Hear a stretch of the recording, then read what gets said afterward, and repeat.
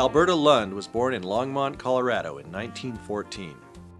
Her father, Albert Lund, had left Sweden 20 years earlier to marry and settle in the grasslands of Colorado's eastern slope. My father was a was a farmer, and he raised uh, uh, alfalfa and uh, uh wheat, and then um, sugar beets. Alberta and her older sister Lorraine grew up working alongside their father. They helped him at the harvest and cared for the cattle, which won awards at the Denver Stock Show.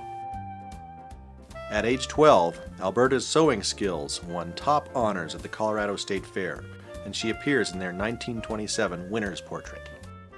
The family could not afford higher education for everyone, so when Lorraine went off to college, Alberta went to work.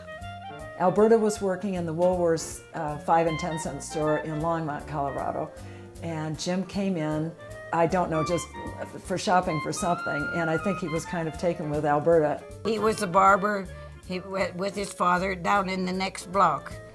And uh, so he would come in and, and uh, he'd walk in one door and then go around my counter and go out the next. And he didn't meet her, but he kept coming back every day for about a week. And he did that I don't know how many times, and he finally up, got up nerve enough to ask me if I'd go out, and I said, Oh, sure, I'll go out. They dated for about a year. Then one day, Lawrence Elisha called from Aspen. He was looking for a young barber for the Hotel Jerome. No more cranky old men, he said. Jim took off for Aspen just after Thanksgiving 1936 to give it a try. Aspen was bleak, but this was a golden opportunity. He'd be the only barber in town. Back in Longmont for the holidays, Jim was direct with Alberta. After Christmas, he said, Well, I don't want to go up back up there without you. So we were hurried and married on the 29th of December in my parents' home. And the next morning, we came over the pass, and we were the last ones over the pass. We followed the snowplow over uh, because he was making his last trip, and we got into town and and we stayed then that night at the Hotel Jerome, up on the third floor, and uh, for about a dollar a night. I looked out the next morning and out there, and the streets weren't paved, and they were all just dirt. It was just a mining town. And I said to Jim, Well, I know one thing, I'm only going to stay five years in this dump. The Jerome was the center of all activity in Aspen, and Jim's shop was where the bar is now. Soon he knew everyone in town. They settled into life in Aspen, found other young people for friends, and started a family. They had three kids Sally, Jane, and Tom, who, with their father's support, grew up ski racing. He was one of the original uh, members of the Aspen Ski Club. For years, Jim ferried many of Aspen's kids to distant ski races, kept their race times, and scraped up the cash to buy them uniforms. Sally, Jane, and Tom went on to compete in Aspen's prestigious Roch Cup. Jim cut hair for many years, but Aspen had a limited number of heads, and he had a family to support. He said, You know, I've been thinking about maybe I'd like to go into the real estate business. Their first land purchase was the Monarch Building, where they put in a motel. Jimmy had his barber shop and real estate office. A lot of property in Aspen had been abandoned in the quiet years. As Aspen's first broker, Jimmy found that closing a sale was difficult because getting a clear title and finding a loan for the buyer was almost impossible.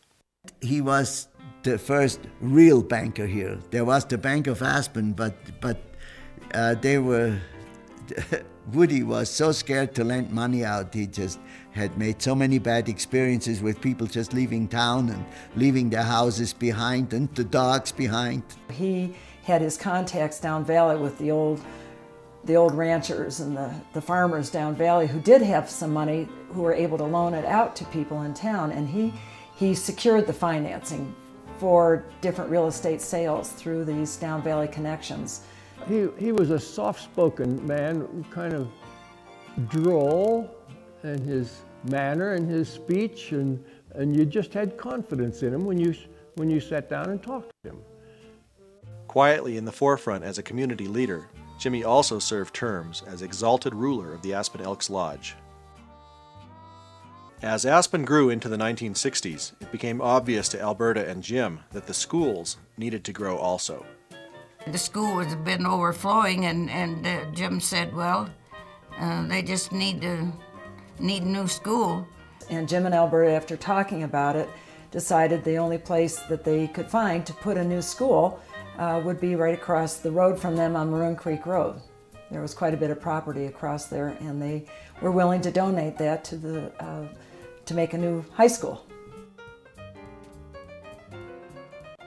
When Aspen needed a replacement for the rundown public pool a few years later, Alberta and Jim stepped up to the plate again. Jim and Alberta decided to donate some more land for the public swimming pool, a new public swimming pool to be built also up Maroon Creek. Jim wasn't interested in having the new pool named after him, but local officials prevailed. They never wanted credit for uh, what they had done, what they were able to do. They were just, it was part of their daily lives, and uh, they just kept trying to contribute to this town. In the mid 50s, Alberta became a volunteer at the thrift shop. She retired after 28 years, but after Jim passed away, she returned to work alongside her daughter in law, Carolyn Moore. Here she is, you know, 86, and she's working every other Thursday with us, and I'll tell you, it's hard work. Alberta will describe her job simply as the hanger lady. Her willingness to take on mundane chores reflects on her devotion to the thrift shop and her fellow volunteers. Uh, since Alberta has started working at the thrift shop in 1956, and for the years that she worked there, the thrift shop has donated into the Roaring Fork Valley $1,368,000. Well, I think if you, re- if you receive something there, then I think you should give something back. The Roaring Fork Valley has seen good fortune over the years, largely due to dedicated residents like Alberta and James E. Moore. Their quiet support of the community for 60 years has created a lasting legacy. The Aspen Hall of Fame salutes Alberta and James E. Moore.